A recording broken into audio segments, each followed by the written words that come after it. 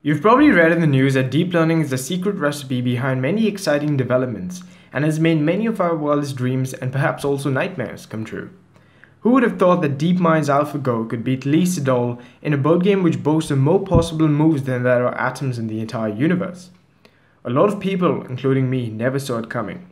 It seemed impossible, but it's here now. Deep learning is everywhere. It's beating physicians at diagnosing cancer, it's responsible for translating web pages in a matter of mere seconds to the autonomous vehicles by Waymo and Tesla. Hi, my name is Jason and welcome to this course in deep learning, where you'll learn everything you need to get started with deep learning in Python, how to build remarkable algorithms capable of solving complex problems that weren't possible just a few decades ago. We'll talk about what deep learning is and the difference between artificial intelligence and machine learning, I'll introduce neural networks, what they are, and just how essential they are to deep learning. You're going to learn about how deep learning models train and learn, and the various types of learning associated supervised, unsupervised, and reinforcement learning. We're going to talk about loss functions, optimizers, the gradient descent algorithm, the different types of neural network architectures, and the various steps involved in deep learning. This entire course is centered on the notion of deep learning. But what is it? Deep learning is a subset of machine learning, which in turn is a subset of artificial intelligence, which involves more traditional methods to learn representations directly from data. Machine learning involves teaching computers to recognize patterns in data in the same way as our brains do. So as humans, it's easy for us to distinguish between a cat and a dog, but it's much more difficult to teach a machine to do this. And we'll talk more about this later on in this course. Before I do that, I want to give you a sense of the amazing successes of deep learning in the past. In 1997, Garry Kasparov, the most successful champion in the history of chess, lost to IBM's Deep Blue, one of the first computer or artificial systems. It was the first defeat of a reigning world chess champion by a computer.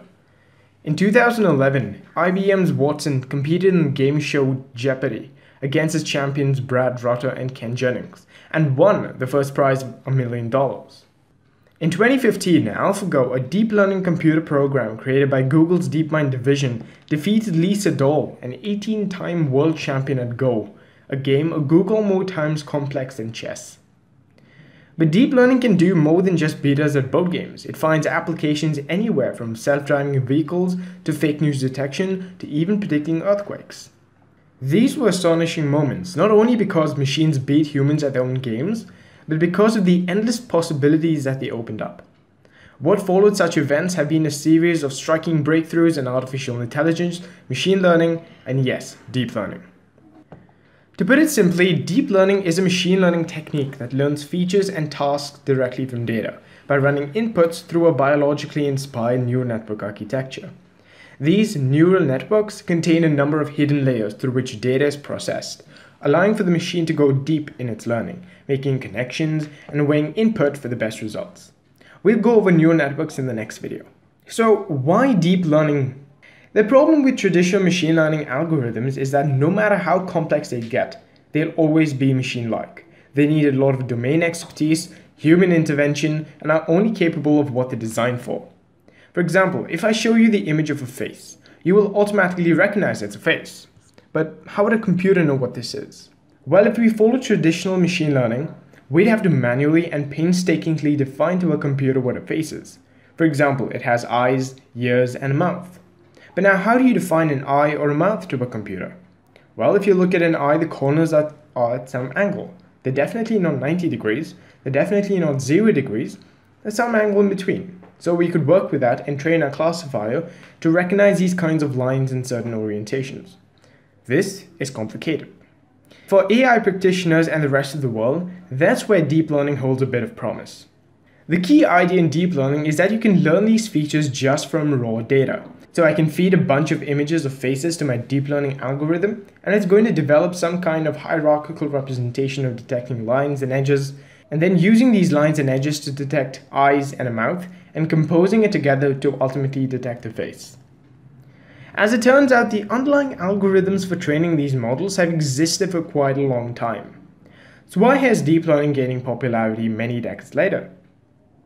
Well, for one, data has become much more pervasive. We're living in the age of big data, and these algorithms require massive amounts of data to effectively be implemented.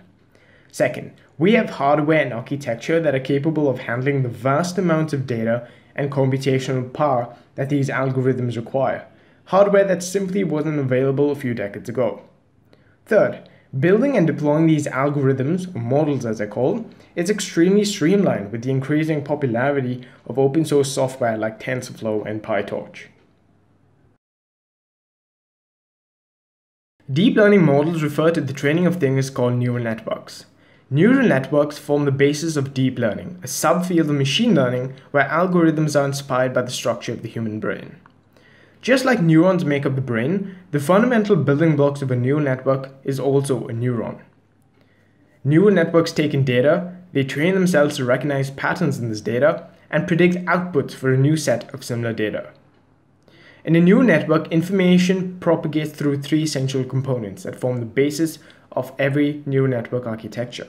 The input layer, the output layer, and several hidden layers between the two. In the next video, we'll go over the learning process of a neural network.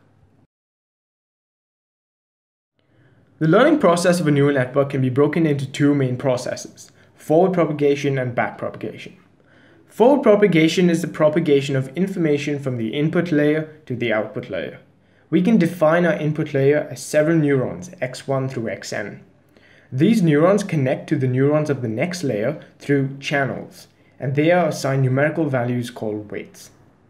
The inputs are multiplied to the weights, and their sum is sent as input to the neurons in the hidden layer, where each neuron in turn is associated to a numerical value called a bias which is then added to the input sum. This weighted sum is then passed through a non-linear function called the activation function, which essentially decides if that particular neuron can contribute to the next layer. In the output layer, it's basically a form of probability. The neuron with the highest value determines what the output finally is. So let's go over a few terms. The weight of a neuron tells us how important the neuron is. The higher the value, the more important it is in the relationship. The bias is like the neuron having an opinion to the relationship. It serves to shift the activation function to the right or to the left. If you have had some experience with high school math, you should know that adding a scalar value to a function shifts the graph either to the left or to the right. And this is exactly what the bias does. It shifts the activation function to the right or to the left.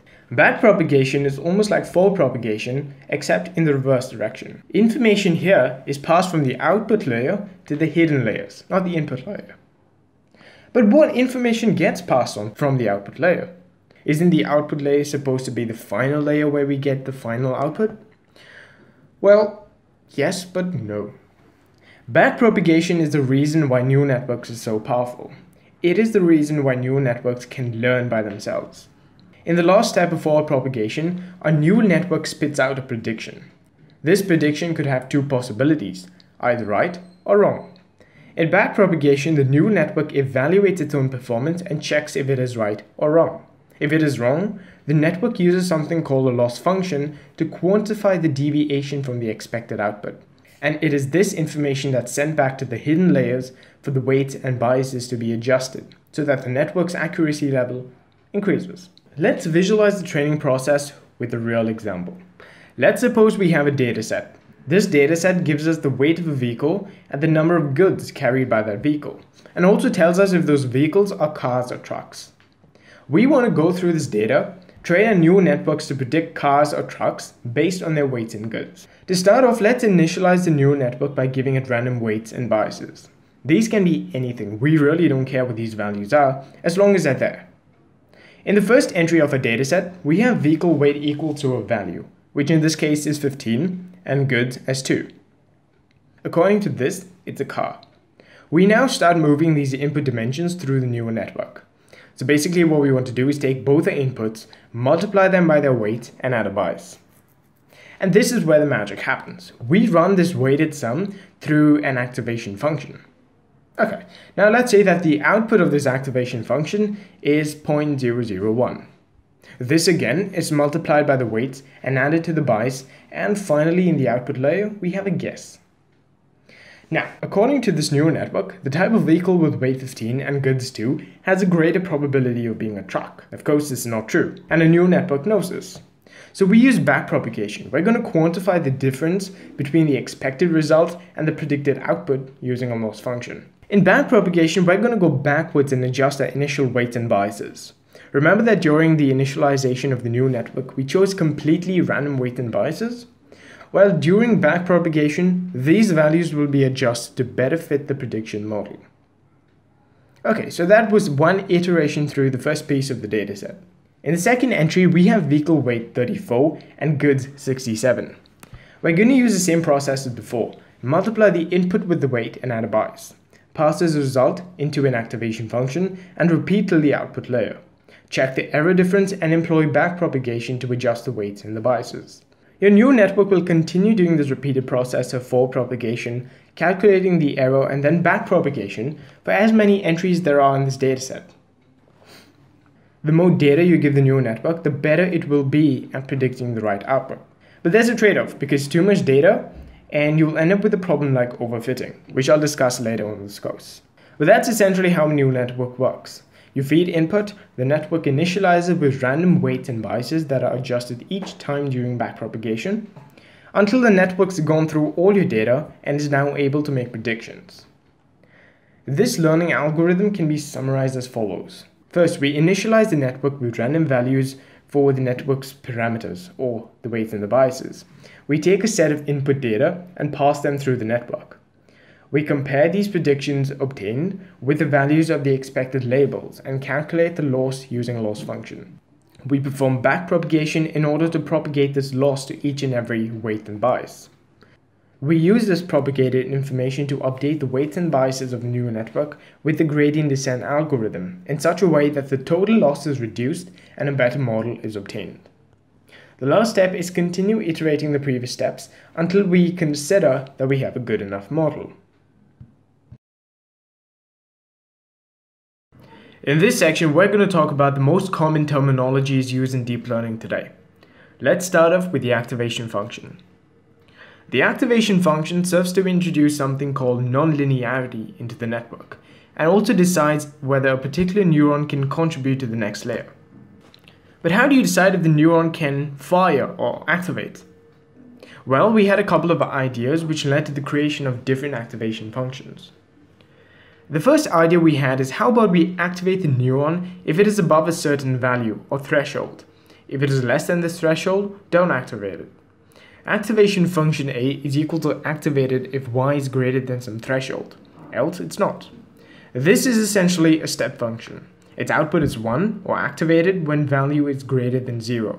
Its output is activated when value is greater than some threshold, and output's not activated otherwise. Great, so this makes an activation function for a neuron. No confusions, life is perfect, except there are some drawbacks with this. To understand it better, think about the following. Think about a case where you want to classify multiple such neurons into classes, say class 1, class 2, class 3, etc. What will happen if more than one neuron is activated?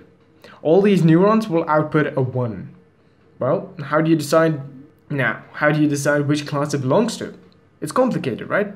You would want the network to activate only one neuron and the other should be zero. Only then you would be able to say it was classified properly.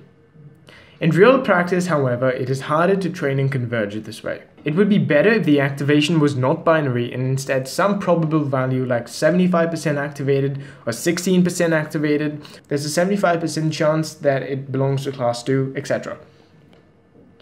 Then, if more than one neuron activates, you could find which neuron fires based on which has the highest probability. Okay, maybe you'll ask yourself, I want something to give me a more analog value, rather than just saying activated or not activated, something other than in binary. And maybe you would have thought about a linear function, a straight line function where the activation is proportional to the input by a value called the slope of the line. This way it gives us a range of activations, so it isn't binary activation. We can definitely connect a few neurons together, and if more than one fires, we could take the maximum value and decide based on that. So that is okay too. And what is the problem with this? Well, if you are familiar with gradient descent, which I'll come to in just a bit, you'll notice that the derivative of a linear function is a constant. Makes sense because the slope isn't changing at any point. For a function f of x is equal to mx plus c, the derivative is m. This means that the gradient has no relationship whatsoever with x. This also means that during backpropagation, the adjustments made to the weights and the biases aren't dependent on x at all. And this is not a good thing. Additionally, think about if you have connected layers. No matter how many layers you have, if all of them are linear in nature, the activation function of the final layer is nothing but just a linear function of the input of the first layer. Pause for a bit and think about it. This means that the entire neural network of dozens of layers can be replaced by a single layer. Remember, a combination of linear functions in a linear manner is still another linear function. And this is terrible because we've just lost the ability to stack layers this way. No matter how much we stack, the whole network is still equivalent to a single layer with single activation. Next, we have a sigmoid function, and if you've ever watched a video on activation functions, this is the kind of function used in the examples. A sigmoid function is defined as a of x is equal to 1 over 1 plus e to the negative x. Well, this looks smooth and kind of like a step function. What are its benefits? Think about it for a moment. Well, first things first, it is non-linear nature. Combinations of this function are also non-linear. Great, so now we can stack layers. What about non-binary activations? Yes, that too. This function outputs an analog activation unlike the step function and also has a smooth gradient. An advantage of this activation function is that unlike the linear function, the output of this function is going to be in the range 0 to 1, inclusive, compared to the negative infinity to infinity of the latter. So we have our activations bound in a range, and this won't blow up the activations. And this is great, and sigmoid functions are one of the most widely used activation functions today. But life isn't always rosy, and sigmoids too tend to have the share of disadvantages. If you look closely between x is equal to negative 2 and x is equal to 2, the y values are very steep. Any small changes in the values of x in that region will cause values of y to change drastically. Also, towards either end of the function, the y values tend to respond very less to changes in x. The gradient at those regions is going to be really, really small, almost zero, and it gives rise to the vanishing gradient problem which just says that if the input to the activation function is either large or small, the sigmoid is going to squish that down to a value between 0 and 1, and the gradient of this function becomes really small. And you'll see why when we talk about gradient descent, this is a huge problem. Another activation function that is used is the tanh function. This looks very similar to the sigmoid. In fact, mathematically, this is what's known as a shifted sigmoid function. Okay, so like the sigmoid, it has characteristics that we discussed above. It is nonlinear in nature, so we can stack layers. It is bound to a range from negative 1 to 1, so there's no worrying about the activations blowing up. The derivative of the tanh function, however, is steeper than that of the sigmoid. So deciding between the sigmoid and the tanh will really depend on your requirement of the gradient strength. Like sigmoid, tanh is also a very popular and widely used activation function, and yes, like the sigmoid, tanh does have a vanishing gradient problem. The rectified linear unit, or the ReLU function, is defined as a of x is equal to the max from 0 to x. At first look, this would look like a linear function, right? The graph is linear in the positive axis. Let me tell you, ReLU is in fact non-linear in nature, and combinations of ReLU are also non-linear. Great, so this means that we can stack layers. However, unlike the previous two functions that we discussed, it is not bounded. The range of the ReLU is from 0 to infinity. This means there is a chance of blowing up the activation. Another point that I would like to discuss here is sparsity of an activation. Imagine a big neural network with lots of neurons. Using a sigmoid or a tanh will cause almost all the neurons to fire in an analog way. This means that almost all activations will be processed to describe the network's output. In other words, the activation will be dense. And this is costly. Ideally, we want only a few neurons in the network to activate, and thereby making the activation sparse and efficient. Here's where the ReLU comes in. Imagine a network with randomly initialized weights, and almost 50% of the network yields zero activation because of the characteristic of ReLU it outputs 0 for negative values of x. This means that only 50% of the neurons fire, sparse activation, making the network lighter. But when life gives you an apple, it comes with a little worm inside. Because of that horizontal line in ReLU for negative values of x, the gradient is zero in that region, which means that during backpropagation, the weights will not get adjusted during descent. This means that those neurons which go into that state will stop responding to variations in the error. Simply because the gradient is zero, nothing changes. This is called the dying ReLU problem. This problem can cause several neurons to just die and not respond, thus making a substantial part of the network passive, rather than what we want, active.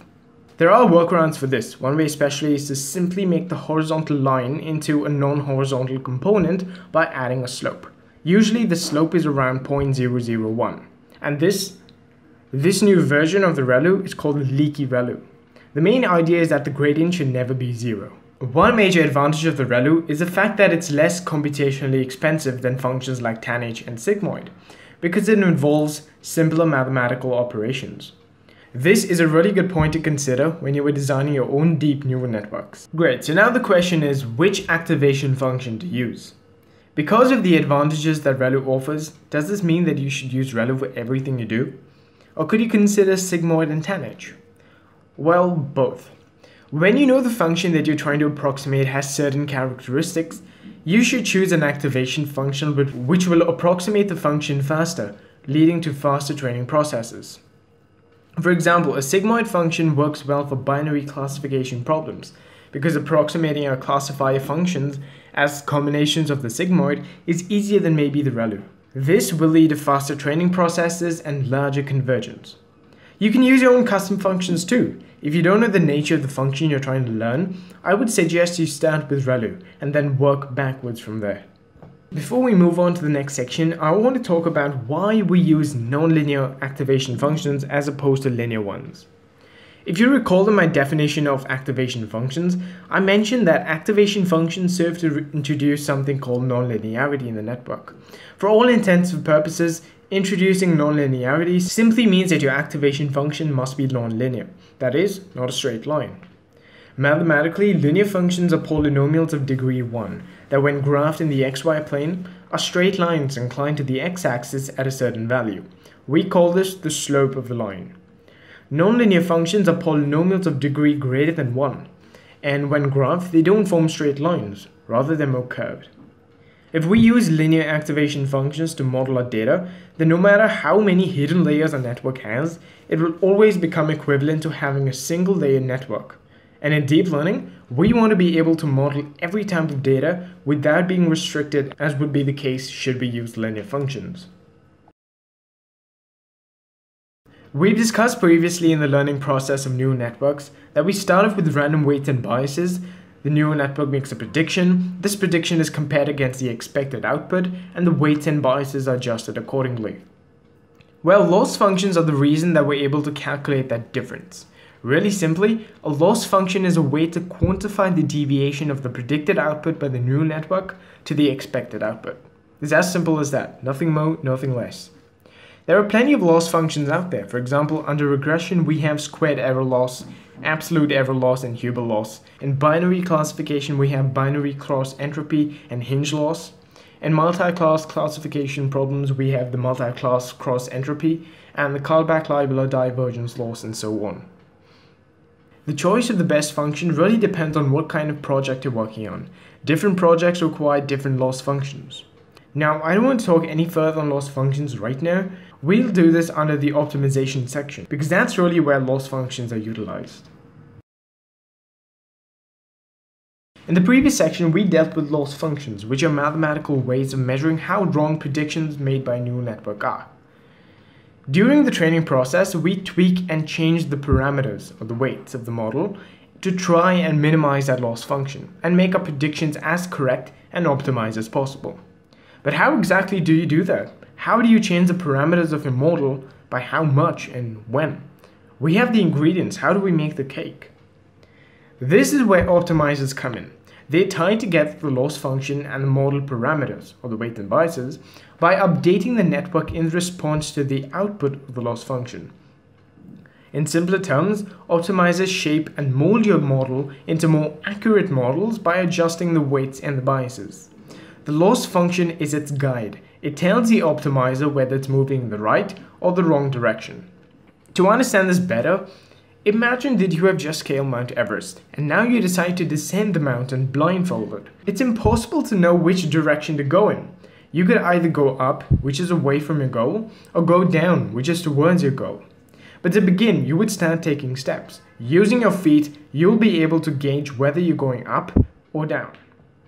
In this analogy, you resemble the neural network. Going down, your goal, is trying to minimize the error, and your feet are resemblant of the loss functions. They measure whether you're going in the right way or the wrong way. Similarly, it's impossible to know what your model's weights should be right from the start. But with some trial and error based on the loss function, you could end up getting there eventually. But we now come to gradient descent, often called the granddaddy of optimizers. Gradient descent is an iterative algorithm that starts off at a random point in the loss function and travels down its slope in steps until it reaches the lowest point or the minimum of the function. It is the most popular optimizer we use nowadays. It's fast, robust, and flexible. And here's how it works. First, we calculate what a small change in each individual weight would do to the loss function. We adjust each individual weight based on its gradient, that is, take a small step in the determined direction. The last step is to repeat the first and the second step until the loss function gets as low as possible. I want to talk about this notion of a gradient. The gradient of a function is the vector of the partial derivatives with respect to all independent variables. The gradient always points in the direction of the steepest increase in the function. Suppose we have a graph like so, with loss on the y-axis and the value of the weight on the x-axis. We have a little data point here that corresponds to the randomly initialized weight. To minimize this loss, that is to get this data point to the minimum of the function, we need to take the negative gradient, since we want to find the steepest decrease in the function. This process happens iteratively till the loss is as minimized as possible. And that's gradient descent in a nutshell. When dealing with high dimensional datasets, that is lots of variables, it's possible you'll find yourself in an area where it seems like you've reached the lowest possible value for your loss function, but in reality it's just a local minimum. To avoid getting stuck in a local minima, we make sure we use a proper learning rate. Changing our weights too fast by adding or subtracting too much, that is, taking steps that are too large or too small, can hinder your ability to minimize the loss function. We don't want to make a jump so large that we skip over the optimal value for a given weight. To make sure this doesn't happen, we use a variable called the learning rate. This thing is usually just a small number, like 0.001 that we multiply the gradients by to scale them. This ensures that any changes we make to our weights are pretty small. In math talk, taking steps that are too large can mean that the algorithm will never converge to an optimum. At the same time, we don't want to take steps that are too small, because then we might never end up with the right values for our weights. In math talk, steps that are too small might lead to our optimizer converging on a local minimum for the loss function, but never the absolute minimum. For a simple summary, just remember that the learning rate ensures that we change our weight at the right pace, not making any changes that are too big or too small. Instead of calculating the gradients for all your training examples on every pass of the gradient descent, it's sometimes more efficient to only use a subset of the training examples each time. Stochastic gradient descent is an implementation that either uses batches of examples at a time or random examples on each pass. Stochastic gradient descent uses the concept of momentum. Momentum accumulates gradients of the past steps to dictate what might happen in the next steps. Also, because we don't include the entire training set, SGD is less computationally expensive. It's difficult to overstate how popular gradient descent really is. Backpropagation is basically gradient descent implemented on a network. There are other types of optimizers based on gradient descent that are used today. AdaGrad adapts the learning rate specifically to individual features. That means that some of the weights in your dataset will have different learning rates than others. This works really well for sparse datasets where a lot of input examples are missing. AdaGrad has a major issue though. The adaptive learning rate tends to get really really small over time. RMSProp is a special version of AdaGrad developed by Professor Geoffrey Hinton. Instead of letting all the gradients accumulate for momentum, it accumulates gradients in a fixed window. RMSProp is similar to AdaProp, which is another optimizer that seeks to solve some of the issues that AdaGrad leaves open. ADAM stands for Adaptive Moment Estimation, and is another way of using past gradients to calculate the current gradient.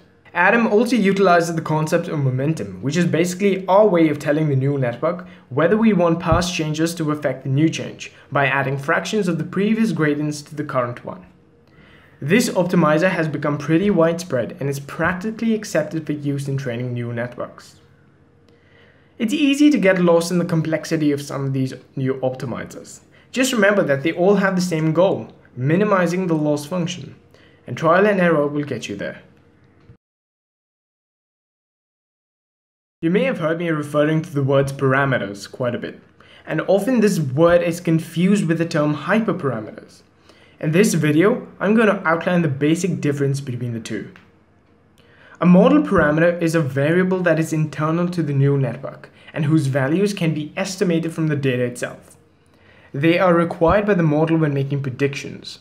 These values define the skill of the model on your problem. They can be estimated directly from the data and are often not manually set by the practitioner. And oftentimes, when you save your model, you are essentially saving your model's parameters. Parameters are key to machine learning algorithms, and examples of these include the weights and the biases. A hyperparameter is a configuration that is external to the model and whose value cannot be estimated from data. There's no way that we can find the best value for a model hyperparameter on a given problem. We may use rules of thumb, copy values used in other problems, or search for the best value by trial and error. When a machine learning algorithm is tuned for a specific problem, such as when you're using grid search or random search, then you are in fact tuning the hyperparameters of the model in order to discover the parameters that result in more skillful predictions. Model hyperparameters are often referred to as parameters, which can make things confusing. So a good rule of thumb to overcome this confusion is as follows. If you have to specify a parameter manually, then it is probably a hyperparameter. Parameters are inherent to the model itself. Some examples of hyperparameters include the learning rate for training a neural network, the C and sigma hyperparameters for support vector machines, and the K and K-nearest neighbors. We need terminologies like epochs, batch size, and iterations only when the data is too big, which happens all the time in machine learning, and when we can't pass all this data to the computer at once.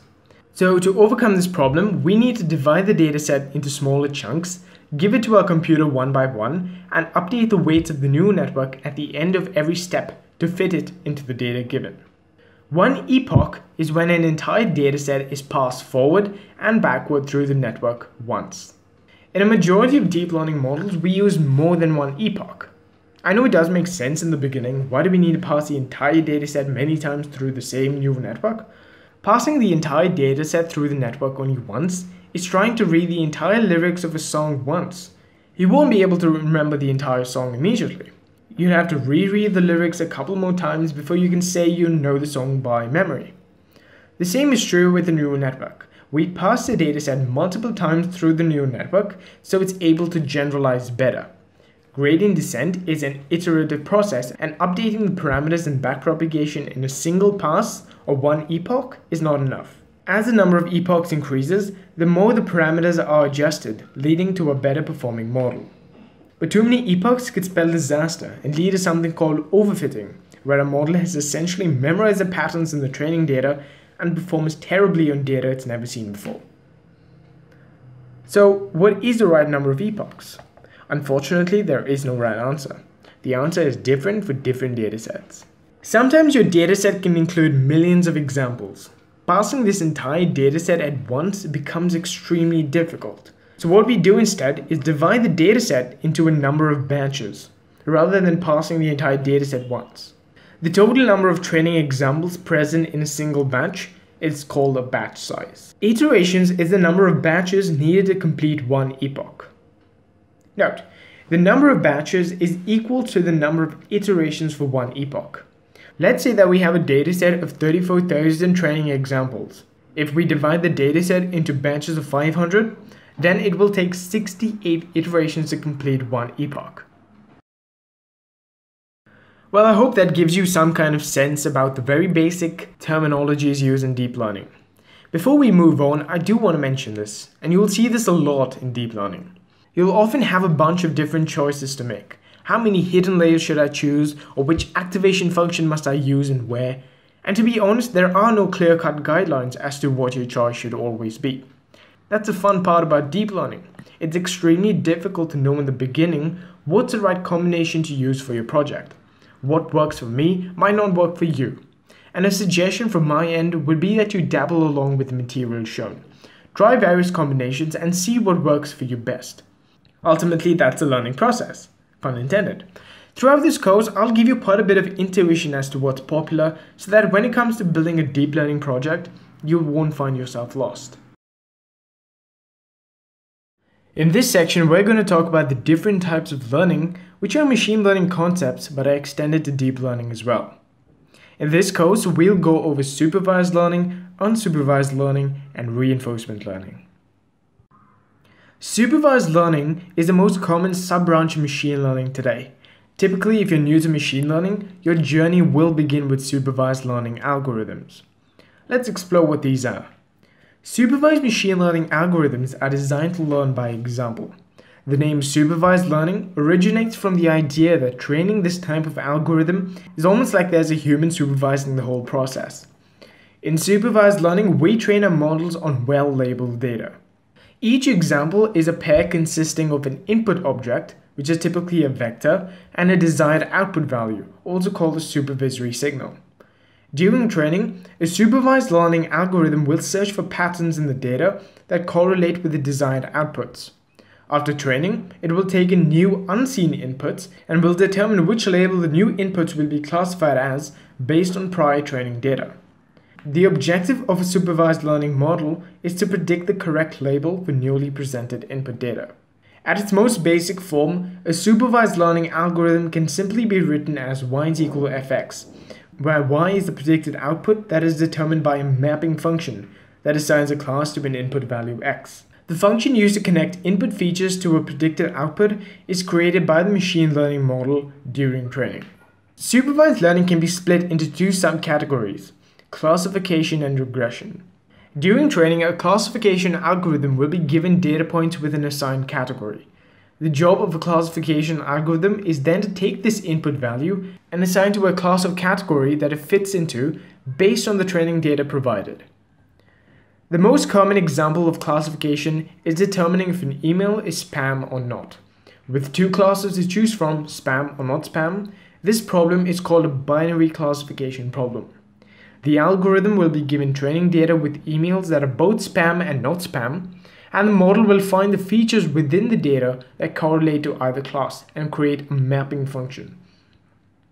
Then when provided with an unseen email, the model will use this function to determine whether or not the email is spam. An example of a classification problem would be the MNIST handwritten digits dataset, where the inputs are images of handwritten digits, or pixel data, and the output is a class label for what digit the image represents, that is numbers 0 to 9.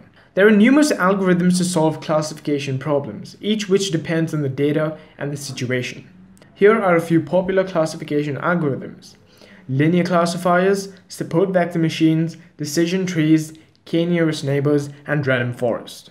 Regression is a predictive statistical process where the model attempts to find the important relationship between dependent and independent variables. The goal of a regression algorithm is to predict a continuous number, such as sales, income, and test scores. The equation for a basic linear regression can be written as follows, where x of i represents the features of the data, and w of i and b are parameters which are developed during training. For simple linear regression models with only one feature in the data, the formula looks like this, where w is the slope, x is the single feature, and b is the y-intercept. Familiar? For simple regression problems such as this, the model's predictions are represented by the line of best fit. For models using two features, a plane is used, and for models with more than two features, a hyperplane is used. Imagine we want to determine a student's test grade based on how many hours they study the week of the test. Let's say the plot data with line of best fit looks like this. There is a clear positive correlation between hours studied, the independent variable, and the student's final test scores, the dependent variable. A line of best fit can be drawn through the data points to show the model's predictions when given a new input. Say we wanted to know how well a student would do with 5 hours of studying. We can use the line of best fit to predict the test score based on other students' performances. Another example of regression problem would be the Boston house prices dataset, where the input are variables that describe a neighborhood and the output is a house price in dollars. There are many different types of regression algorithms. Three most common are linear regression, lasso regression, and multivariate regression. Supervised learning finds applications in classification and regression problems like bioinformatics, such as fingerprint, iris, and face recognition in smartphones, object recognition, spam detection, and speech recognition. Unsupervised learning is a branch of machine learning that is used to manifest underlying patterns in data and is often used in exploratory data analysis. Unlike supervised learning, unsupervised learning does not use labeled data, but instead focuses on the data's features. Label training data has a corresponding output for each input. The goal of an unsupervised learning algorithm is to analyze data and find important features in that data. Unsupervised learning will often find subgroups or hidden patterns within the dataset that a human observer might not pick up on, and this is extremely useful as we'll soon find out. Unsupervised learning can be of two types, clustering and association. Clustering is the simplest and among the most common applications of unsupervised learning. It is the process of grouping the given data into different clusters or groups. Clusters will contain data points that are as similar as possible to each other and as dissimilar as possible to data points in other clusters. Clustering helps find underlying patterns within the data that may not be noticeable to a human observer. It can be broken down into partitional clustering and hierarchical clustering. Partitional clustering refers to a set of clustering algorithms where each data point in a dataset can belong to only one cluster. Hierarchical clustering finds clusters by a system of hierarchies. Every data point can belong to multiple clusters. Some clusters will contain smaller clusters within it. This hierarchy system can be organized as a tree diagram. Some of the more commonly used clustering algorithms are the k-means, expectation maximization, the hierarchical cluster analysis or the HCA. Association, on the other hand, attempts to find relationships between different entities. The classic example of association rules is market basket analysis. This means using a database of transactions in a supermarket to find items that are frequently bought together. For example, a person who buys potatoes and burgers usually buys beer, for example, a person who buys tomatoes and pizza cheese might want to bring pizza bread, and so on. Unsupervised learning finds applications almost everywhere. For example, Airbnb, which helps host stays and experiences and connect people all over the world. This application uses unsupervised learning algorithms where a potential client queries their requirements and Airbnb learns these patterns and recommends stays and experiences which fall under the same group or cluster example, a person looking for houses in San Francisco might not be interested in finding houses in Boston. Amazon also uses unsupervised learning to learn the customer's purchases and recommend products which are frequently bought together, which is an example of association rule mining. Credit card fraud detection is another unsupervised learning algorithm that learns the various patterns of a user and, and their usage of a credit card. If the card is used in parts that do not match the behavior, an alarm is generated which could possibly be marked as fraud. And in some cases, your bank might call you to confirm whether it was you using the card or not. Reinforcement learning is a type of machine learning technique that enables an agent to learn in an interactive environment by trial and error, using feedback from its own actions and experiences.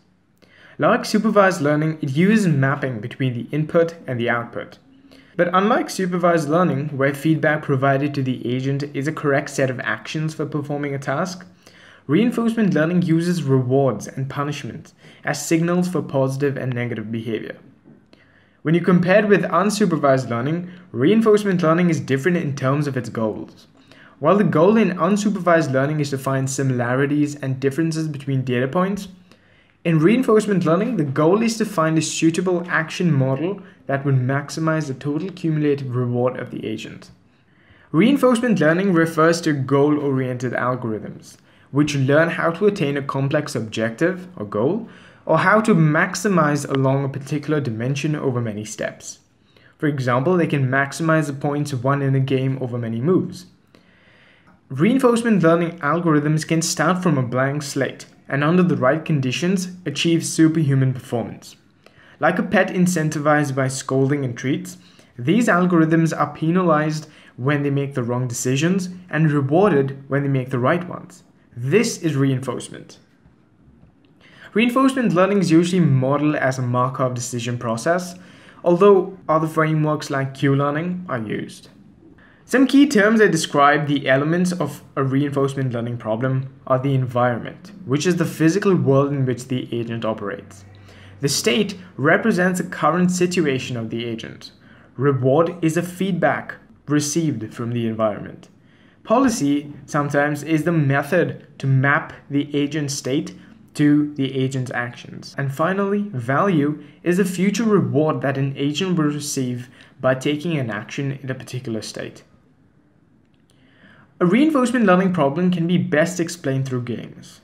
Let's take the game of Pac-Man, where the goal of the agent, or Pac-Man, is to eat the food in the grid while avoiding the ghosts on its way. The grid world is the interactive environment for the agent. Pac-Man receives a reward for eating food and punishment if it gets killed by the ghost. That is, it loses the game. The states are the location of Pac-Man in the grid world, and the total cumulative reward is Pac-Man winning the game. Reinforcement learning finds applications in robotics, business strategy planning, traffic light control, web system configuration, and aircraft and robot motion control. A central problem in deep learning is how to make an algorithm that will perform well not just on training data, but also on new inputs. One of the most common challenges you'll face when training models is the problem of overfitting, a situation where your model performs exceptionally well on training data, but not on testing data. Say I have a dataset graphed on the xy plane like so. Now I want to construct a model that would best fit the dataset. What I could do is draw a line of some random slope and intercept. Now evidently this isn't the best model. And in fact this is called underfitting because it doesn't fit the model well. In fact it underestimates the dataset. Instead what we could do is draw a line that looks something like this. Now this really fits our model the best. But this is overfitting. Remember that while training, we show our network some training data, and once that's done, we'd expect it to be almost close to perfect. The problem with this graph is that although it is probably the best line of fit for this graph, it is the best line of fit only if you're considering your training data. What your network has done in this graph is memorize the patterns between the training data and won't give accurate predictions at all on data it's never seen before. And this makes sense because instead of memorizing patterns generally to perform well on both training as well as new testing data, our network in fact has memorized the patterns only on the training data. So it obviously won't perform well on new data it's never seen before. This is the problem of overfitting. It fitted too much. And by the way, this would be the more accurate kind of fitting. It's not perfect, but it'll do well on both training as well as new testing data with sizable accuracy. There are a couple of ways to tackle overfitting. The most interesting type of regularization is dropout. It produces very good results and is consequently the most frequently used regularization technique in the field of deep learning. To understand dropout, let's say that we have a neural network with two hidden layers. What Dropout does is that at every iteration, it randomly selects some nodes and removes them along with their incoming and outgoing connections as shown. So each iteration has a different set of nodes and this results in a different set of outputs. So why do these models perform better? These models usually perform better than a single model as they capture more randomness and memorizes less of the training data and hence will be forced to generalize better and build a more robust predictive model. Sometimes the best way to make a deep learning model generalize better is to train it on more data. In practice, the amount of data we have is limited, and one way to get around this problem is to create fake data and add it to the training set. For some deep learning tasks, it is reasonably straightforward to create new fake data. This approach is easiest for classification. A classifier needs to take a complicated high-dimensional input x and summarize it with the category identity y. This means that the main task facing a classifier is to be invariant to a wide variety of transformations. We can generate new xy pairs easily just by applying transformations on the xy inputs in our training set. Dataset augmentation has been a particularly effective technique for a specific classification problem, object recognition. Images are high dimensional and include an enormous range of factors of variation, many of which can easily be simulated. Operations like translating the training images a few pixels in each direction can often greatly improve generalization. Many other operations such as rotating the image or scaling the image have also proved quite effective. You must be careful not to apply transformations that would change the correct class. For example, in optical character recognition, tasks that require recognizing the difference between a B and a D and the difference between a 6 and a 9 Horizontal flips and 180 degree rotations are not appropriate ways of augmenting datasets for these tasks. When training large models with sufficient representational capacity to overfit the task, we often observe that the training error decreases steadily over time, but the error validation set begins to rise again. This means we can obtain a model with better validation set error and thus hopefully better test set error by stopping training at the point where the error in the validation set starts to increase. This strategy is known as early stopping. It is probably the most commonly used form of regularization in deep learning today. Its popularity is due to both its effectiveness and its simplicity. In this section, I'm going to introduce the three most common types of neural network architectures today. Fully connected feed-forward neural networks, recurrent neural networks, and convolutional neural networks. The first type of neural network architecture we're going to discuss is a fully connected feed-forward neural network. By fully connected, I mean that each neuron in the preceding layer is connected to every neuron in the subsequent layer without any connection backwards. There are no cycles or loops in the connections in the network. As I mentioned previously, each neuron in a neural network contains an activation function that changes the output of a neuron when given its input. There are several types of activation functions that can change this input to output relationship to make a neuron behave in a variety of ways. Some of the most well-known activation functions are the linear function, which is a straight line that essentially multiplies the input by a constant value. The sigmoid function that ranges from 0 to 1, the hyperbolic tangent or the tangent function ranging from negative 1 to positive 1, and the rectified linear unit, or the ReLU function, which is a piecewise function that outputs a zero if the input is less than a certain value, or a linear multiple if the input is greater than a certain value. Each type of activation function has its pros and cons, so we use them in various layers in the deep neural network based on the problem each is designed to solve. In addition, the last three activation functions we refer to as nonlinear functions because the output is not a linear multiple of the input. Nonlinearity is what allows deep neural networks to model complex functions. Using everything we've learned so far, we can create a wide variety of fully connected feed-forward neural networks. We can create networks with various inputs, various outputs, various hidden layers, neurons per hidden layer, and a variety of activation functions. These numerous combinations allow us to create a variety of powerful deep neural networks that can solve a wide array of problems. The more neurons we add to each hidden layer, the wider the network becomes. In addition, the more hidden layers we add, the deeper the network becomes. However, each neuron we add increases the complexity, and thus the computational resource necessary to train a neural network increases. This increase in complexity isn't linear in the number of neurons we add, so it leads to an explosion in complexity and training time for large neural networks. That's a trade-off you need to consider when you are building deep neural networks. All the neural networks we've discussed so far are known as feed-forward neural networks. They take in a fixed-sized input and give you a fixed-sized output. That's all it does. And that's what we expect neural networks to do, take in an input and give a sizable output. But as it turns out, these plain or vanilla neural networks aren't able to model every single problem that we have today. To better understand this, use this analogy. Suppose I show you the picture of a ball, a round spherical ball that was moving in space in some direction. I've just taken a photo of the ball, or a snapshot of the ball, at some time t. Now, I want you to predict the next position of the ball in say 2 or 3 seconds. You're probably not going to give me an accurate answer. Now, let's look at another example. Suppose I walk up to you and say the word dog. You will never understand my statement because, well, it doesn't make sense. There are trillion combinations solely using the word dog, and among these trillion combinations, I'm expecting you to now guess what I'm trying to tell you.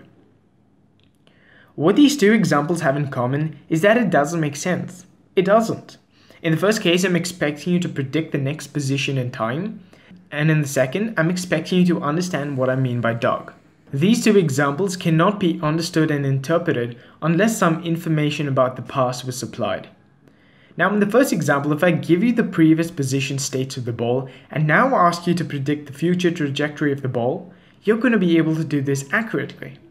And in the second case, if I give you a full sentence saying, I have a dog. This makes sense because now you understand that out of the trillion possible combinations involving a dog, my original intent was for you to understand that I have a dog. Why did I give you this example? How does this apply to neural networks? In the introduction, I said vanilla neural networks can't model every single situation or problem that we have. And the biggest problem, it turns out, is that plain vanilla feed-forward neural networks cannot model sequential data. Sequential data is data in a sequence. For example, a sentence is a sequence of words. A ball moving in space is a sequence of all its position states. In the sentence that I'd shown you, you understood each word based off your understanding of the previous words. This is called sequential memory. You were able to understand a data point in a sequence by your memory of the previous data point in that sequence. Traditional neural networks can't do this, and it seems like a major shortcoming. One of the disadvantages of modeling sequences with traditional neural networks is the fact that they don't share parameters across time. Let us take for example these two sentences. On Tuesday it was raining, and it was raining on Tuesday. These sentences mean the same thing, although the details are in different parts of the sequence. Actually, when we feed these sentences into a feed-forward neural network for a prediction task, the model will assign different weights to on Tuesday and it was raining at each moment in time. Things we learn about the sequence won't transfer if they appear at different points in the sequence.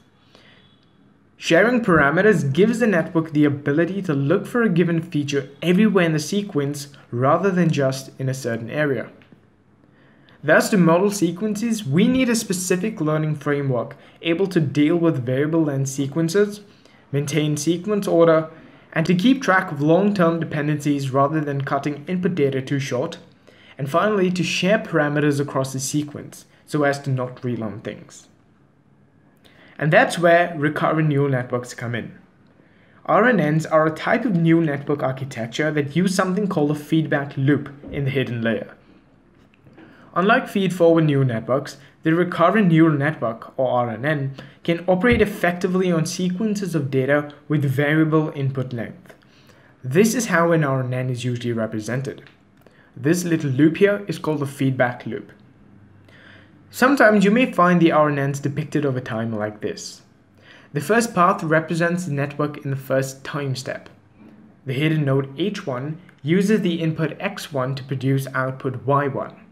This is exactly what we've seen with basic feed-forward neural networks. However, at the second time step, the hidden node at the current time step H2 uses both the new input X2 as well as the state from the previous time step H1 as input to make new predictions. This means that a recurrent neural network uses knowledge of its previous states as input for its current prediction. And we can repeat this process for an arbitrary number of steps, allowing for the network to propagate information via its hidden state throughout time. This is almost like giving a neural network a short-term memory.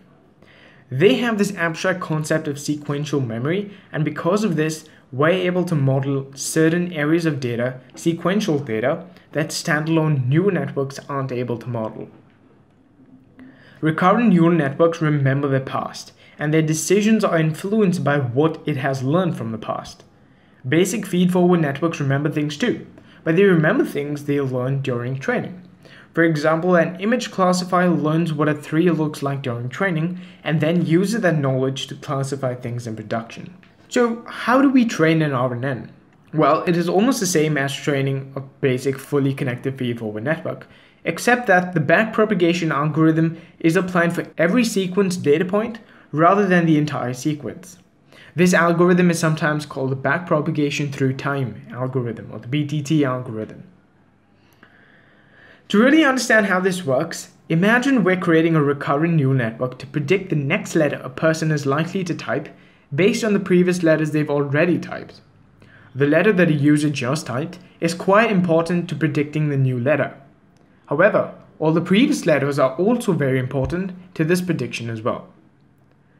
At the first time step, say the user typed the letter F. So a network might predict that the next letter is an E, based on all of the previous training examples that included the word FE. At the next time step, the user types the letter R. So a network uses both the new letter R plus the state of the first hidden neuron in order to compute the next prediction L. The network predicts this because of the high frequency of occurrences in the word FEL in our training dataset. Adding the letter A might predict the letter T, Adding an N would predict the letter K, which would match the word our user intended to type, which is Frank. There, however, is an issue with RNNs, known as short-term memory. Short-term memory is caused by the infamous vanishing and exploding gradient problems. As the RNN processes more words, it has trouble retaining information from previous steps, kind of like our memory. If you're given a long sequence of numbers like pi, and you try reading them out, you're probably going to forget the initial few digits, right? Short-term memory and the vanishing gradient is due to the nature of backpropagation, the algorithm used to train and optimize neural networks. After the forward propagation or the pass, the network compares this prediction to the ground truth using a loss function which outputs an error value, an estimate of how poorly the network is performing. The network uses that error value to perform backpropagation, which calculates the gradients for each node in the network. The gradient is a value used to adjust the network's internal weights, allowing for the network to learn. The bigger the gradient, the bigger the adjustments are, and vice versa. Here's where the problem lies. When performing backpropagation, each node in a layer calculates its gradient with respect to the effects of the gradient in the layer before it. So if the adjustment to the layers before it is small, then the adjustments to the current layer will be even smaller. And this causes gradients to exponentially shrink as it backpropagates down. The earlier layers fail to do any learning as the internal weights are barely being adjusted due to extremely small gradients. And that is the vanishing gradient problem. Let's see how this applies to recurrent neural networks. You can think of each time step in a recurrent neural network as a layer. To train a recurrent neural network, you use an application of backpropagation called backpropagation through time. The gradient values will exponentially shrink as it backpropagates through each time step. Again, the gradient is used to make adjustments in the neural network weights, thus allowing it to learn. Small gradients mean small adjustments, and this causes the early layers not to learn. Because of the vanishing gradients, the RNN doesn't learn the long-range dependencies across time steps. This means that in a sequence it was raining on Tuesday, there is a possibility that the words it and was are not considered when trying to predict the user's intention. The network then has to make the best guess with on Tuesday, and that's pretty ambiguous and would be difficult even for a human. So not being able to learn on earlier time steps causes the network to have a short-term memory. We can combat this short-term memory of an RNN by using two variants of recurrent neural networks, gated RNNs and long short-term memory RNNs, also known as LSTMs. Both these variants function just like RNNs, but they're capable of learning long-term dependencies using mechanisms called gates.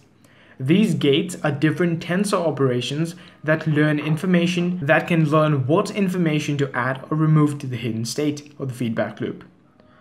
The main difference between a gated RNN and an LSTM is that the gated RNN has two gates to control its memory, an update gate and a reset gate, while an LSTM has three gates, an input gate, an output gate, and a forget gate. RNNs work well for applications that involve sequences of data that change over time. These applications include natural language processing, sentiment classification, DNA sequence classification, speech recognition, and language translation.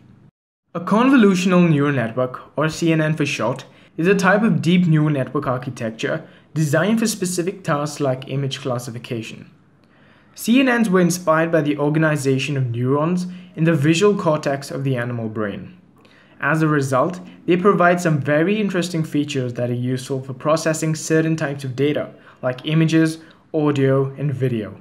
Like a fully connected neural network, a CNN is composed of an input layer, an output layer, and several hidden layers between the two. CNNs derive their names from the type of hidden layers it consists of.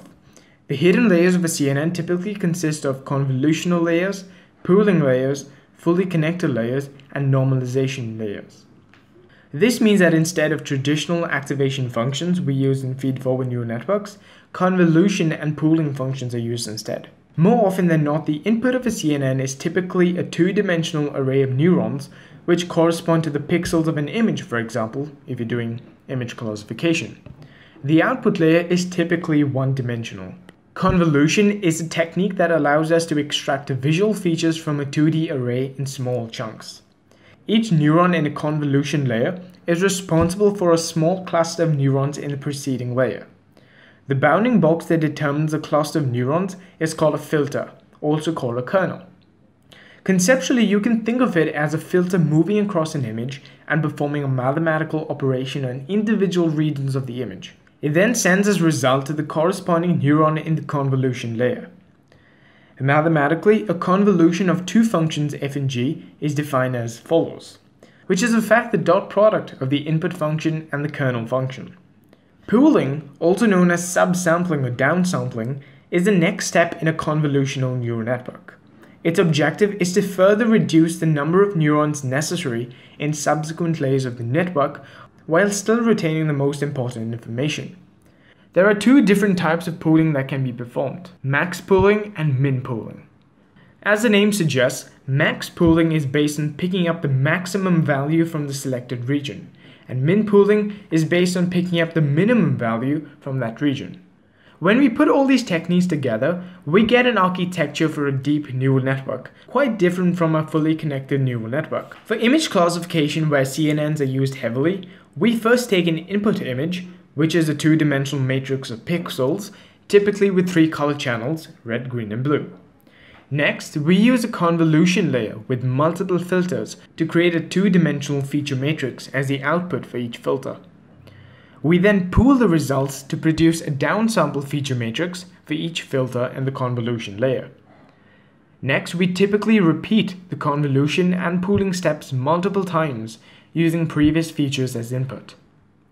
Then we add a few fully connected hidden layers to help classify the image. And finally, we produce a classification prediction in the output layer. Convolutional neural networks are used heavily in the field of computer vision and work well for a variety of tasks, including image recognition, image processing, image segmentation, video analysis, and natural language processing. In this section, I'm going to discuss the five steps that are common in every deep learning project that you build. These can be extended to include various other aspects, but at its very core, they are very fundamentally five steps. Data is at the core of what deep learning is all about. Your model will only be as powerful as the data you bring. Which brings me to the first step, gathering your data. The choice of data and how much data you would require entirely depends on the problem you're trying to solve. Picking the right data is key, and I can't stress how important this part is. Bad data implies a bad model. A good rule of thumb is to make assumptions about the data you require and be careful to record these assumptions so that you can test them later if needed.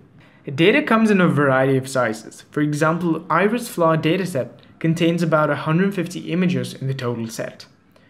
Gmail Smart Reply has around 238 million examples in its training set, and Google Translate reportedly has trillions of data points. When you're choosing your dataset, there's no one size fits all, but the general rule of thumb is that the amount of data you need for a well performing model should be 10 times the number of parameters in that model.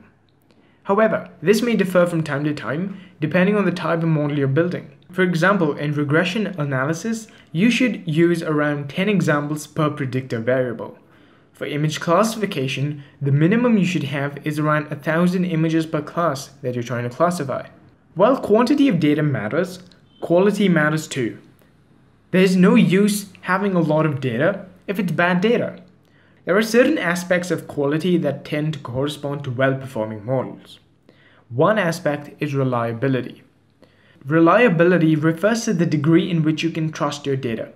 A model trained on a reliable dataset is more likely to yield useful predictions than model trained on unreliable data. How common are label errors? If your data is labeled by humans, sometimes there may be mistakes. Are your features noisy? Is it completely accurate? Some noise is alright, you'll never be able to purge your data of all the noise. There are many other factors that determine quality. For the purpose of this video though, I'm not going to talk about the remaining. Although if you're interested, I'll leave them in the show notes below. Lucky for us, there are plenty of resources on the web that offer good datasets for free. Here are a few sites where you can begin your dataset search. The UCI Machine Learning Repository maintains around 500 extremely well-maintained datasets that you can use in your deep learning projects. Kaggle's another one. You'll love how detailed their datasets are. They give you info on the features, data types, number of records, and so on. You can use a kernel too, and you wouldn't have to download the dataset. Google's dataset search is still in beta, but is one of the most amazing sites that you can find today. Reddit too is a great place to request for datasets you want. But again, there is a chance of it not being properly organized. Create your own dataset. That'll work too. You can use web scrapers like Beautiful Soup to get your required data for the dataset. After you've selected your dataset, you now need to think of how you're going to use this data. There are some common pre-processing steps that you should follow. First, splitting the dataset into subsets. In general, we usually split a dataset into three parts, training, testing, and validating sets. We train our models with the training set, evaluate it on the validation set, and finally, once it's ready to use, test it one last time on the testing dataset. Now, it is reasonable to ask the following question. Why not have two sets, training and testing? In that way, the process will be much simpler. Just train the model on the training data and test it on the testing data. The answer to that is developing a model involves tuning its configuration. In other words, choosing certain values for the hyperparameters or the weight and biases. This tuning is done with the feedback received from the validation set and is in essence a form of learning it turns out we just can't split the dataset randomly. Do that and you'll get random results. There has to be some kind of logic to split the dataset. Essentially what you want is for all the three sets, the training, testing and validation sets, to be very similar to each other and to eliminate skewing as much as possible. This mainly depends on two things. First, the total number of samples in your data, and second, on the actual model you're trying to train. Models with very few hyperparameters will be very easy to validate and tune, so you can probably reduce the size of your validation set. But if your model has many hyperparameters, you would want to have a large validation set as well as consider cross-validation. Also, if you happen to have a model with no hyperparameters whatsoever, or ones that cannot be easily tuned, you probably don't need a validation set. All in all, like many other things in machine learning and deep learning, the train test validation split ratio is also quite specific to your use case, and it gets easier to make judgment as you train and build more and more models. So here's a quick note on cross-validation. Usually you'd want to split your dataset into two, the train and the test. After this you keep aside the test set and randomly choose some percentage of the training set to be the actual train set, and the remaining to be the validation set. The model is then iteratively trained and validated on these different sets. There are multiple ways to do this, and this is commonly known as cross-validation. Basically, you use your training set to generate multiple splits of the train and validation set. Cross-validation avoids overfitting and is getting more and more popular, with k-fold cross-validation being the most popular method. Additionally, if you're working on time series data, a frequent technique is to split the data by time. For example, if you have a dataset with 40 days of data, you can train your data from days 1 to 39 and evaluate your model on the data from day 40. For systems like this, the training data is older than the serving data. So this technique ensures your validation set mirrors the lag between training and serving. However, keep in mind that time-based splits work best with very, very large datasets, such as those with tens of millions of examples. The second method that we have in pre-processing is formatting. The dataset that you've picked might not be in the right format that you like. For example, the data might be in the form of a database, but you'd like it as a CSV file, vice versa. Of course, there are a couple of ways to do this, and you can Google them if um, you'd like. Dealing with missing data is one of the most challenging steps in the gathering of data for your deep learning projects. Unless you're extremely lucky to land with the perfect dataset, which is quite rare, dealing with missing data will probably take a significant chunk of your time. It is quite common in real-world problems to miss some values of our data samples. This may be due to errors on the data collection, blank spaces on surveys, measurements not applicable, and so on. Missing values are typically represented with the NAN or the null indicators. The problem with this is that most algorithms can't handle these kind of missing values, so we need to take care of them before feeding data to our models. There are a couple of ways to deal with them. One is eliminating the samples of the features with missing values. The downside, of course, is that you risk to delete relevant information. The second step is to impute the missing values. A common way is to set the missing values as the mean value for the rest of the samples. But of course, there are other ways to deal with specific datasets, be smart as handling missing data in the wrong way can spell disasters. Sometimes you may have too much data than what you require. More data can result in larger computational and memory requirements. In cases like this, it's best practice to use a small sample of the dataset. It will be faster and ultimately an increase in time for you to explore and prototype solutions.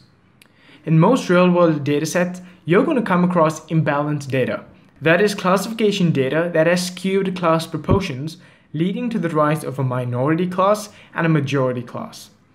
If we train a model on data like this, a model will only spend time learning about the majority class and a lot less time on the minority class. And hence, a model will ultimately be biased to the majority class. And so in cases like this, we usually use a process called downsampling and upweighting which is essentially reducing the majority class by some factor and adding example weights of that factor to the downsample class. For example, if we downsample the majority class by a factor of 10, then the example weights we add to that class should be 10. It may seem odd to add example weights after downsampling. What is its purpose? Well, there are a couple of reasons. It leads to faster convergence. During training, we see the minority class more often, which helps the model converge faster. By consolidating the majority class into fewer examples with larger weights, we spend less disk space storing them. Upweighting ensures the model is still calibrated. We add upweighting after downsampling so as to keep the dataset in similar proportion. These processes essentially help a model see more of the minority class rather than just solely the majority class. This helps our model perform better in real-world situations. Feature scaling is a crucial step in the pre-processing phase, as the majority of deep learning algorithms perform much better when dealing with features that are on the same scale. The most common techniques are normalization, which refers to the rescaling of features to a range between 0 and 1, which in fact is a special case of min-max scaling. To normalize our data, we need to apply min-max scaling to each feature column.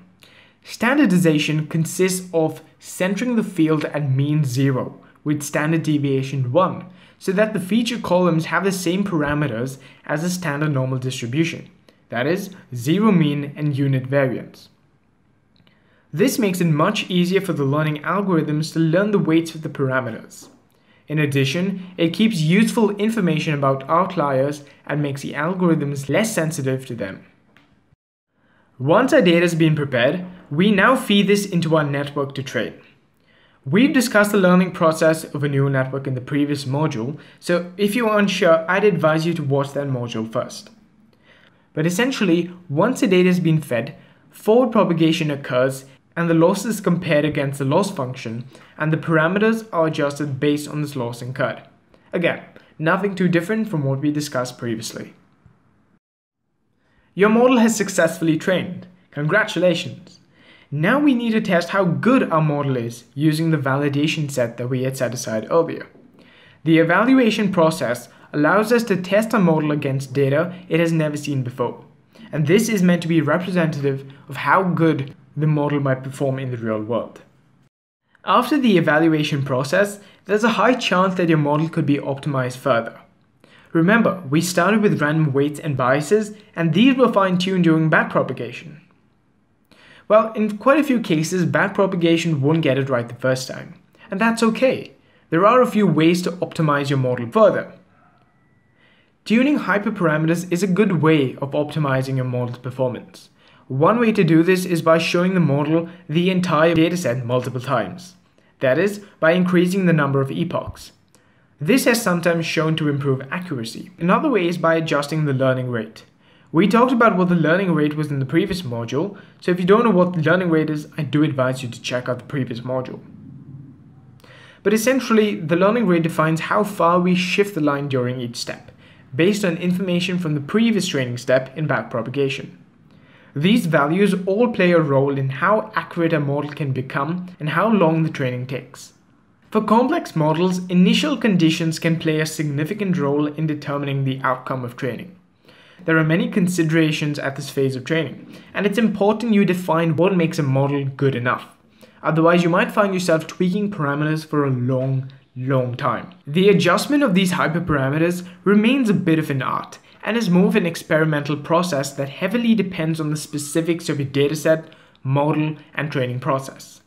You will develop this as you go more and more into deep learning, so don't worry too much about this now. One of the more common problems you will encounter is when your model performs well on training data but performs terribly on data it's never seen before. This is the problem of overfitting. This happens when the model learns a pattern specific to the training dataset that aren't relevant to other unseen data. There are two ways to avoid this overfitting. Getting more data and regularization. Getting more data is usually the best solution. A model trained on more data will naturally generalize better. Reducing the model size by reducing the number of learnable parameters in the model and with it its learning capacity is another way. However, by lowering the capacity of the network, you force it to learn patterns that matter or that minimize the loss. On the other hand, reducing the network's capacity too much will lead to underfitting. The model will not be able to learn the relevant patterns in the trained data. Unfortunately, there are no magical formulas to determine this balance. It must be tested and evaluated by setting different number of parameters and observing its performance. The second method to addressing overfitting is by applying weight regularization to the model. A common way to achieve this is to constrain the complexity of the network by forcing its weights to take only small values, regularizing the distribution of weight values. This is done by adding to the loss function of the network a cost associated with having large weights. And this cost comes in two ways. L1 regularization adds a cost with regards to the absolute value of the weight coefficient, or the L1 norm of the weights. L2 regularization adds a cost with regards to the squared value of the weights coefficient, that is, the L2 norm of the weight. Another way of reducing overfitting is by augmenting data. For a model to perform well or satisfactory, we need to have a lot of data. We've established this already. But typically if you're working with images, there's always a chance that your model won't perform as well as you'd like it, no matter how much data you have. In cases like this, when you have limited datasets, data augmentation is a good way of increasing your dataset without really increasing it. We artificially augment our data, or in this case images, so that we get more data from already existing data. So what kind of augmentations are we talking about? Well, anything from flipping the image of the y-axis, flipping over the x-axis, applying blur, to even zooming on in the image. What this does is that it shows your model more than what meets the eye. It exposes your model to more of the existing data. so that in testing it will automatically perform better because it has seen images represented in almost every single form. Finally, the last method we're going to talk about is dropout. Dropout is a technique used in deep learning that randomly drops out units or neurons in the network. Simply put, dropout refers to the ignoring of neurons during the training phase of a randomly chosen set of neurons. By ignoring, I mean that these units are not considered during a particular forward or backward pass. So why do we need dropout at all? Why do we need to shut down parts of a neural network? A fully connected layer occupies most of the parameters, and hence, neurons develop a codependency amongst each other during training which curbs the individual power of each neuron and which ultimately leads to overfitting of the training data. So dropout's a good way of reducing overfitting. I hope that this introductory course has helped you develop a good intuition of deep learning as a whole. Of course, we've only just scraped the surface. There's a whole new world out there. If you like this course, please consider liking and subscribing. It really helps me make courses like this. I have a couple of videos on computer vision with OpenCV that I will be releasing in a couple of weeks, so stay tuned for that. In the meantime, good luck.